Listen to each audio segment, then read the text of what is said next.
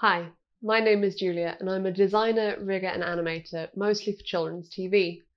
Everything I do is digital, so it's really important to me that I have a great monitor because it's the lens which I use to see my work.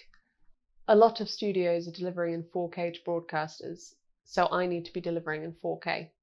This is the Asus ProArt PA32 UCX PK, and I'm really enjoying using it. I can see edges really crisply and the colour is fantastic.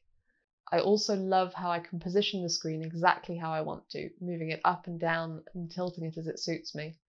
In this industry, it's really common to have pain caused by an unergonomic setup, so having something that I can adjust absolutely to my needs makes such a difference.